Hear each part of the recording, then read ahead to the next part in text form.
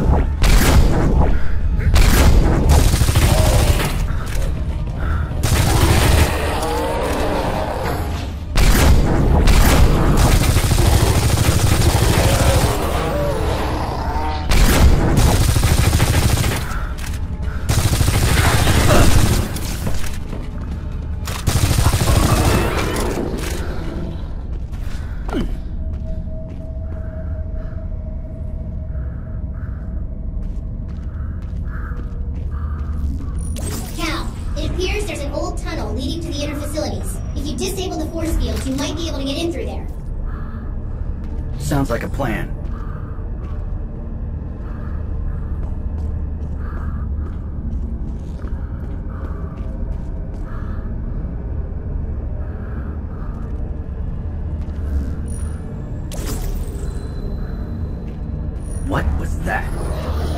Yelena, I don't think I'm alone another. Be careful, Commander.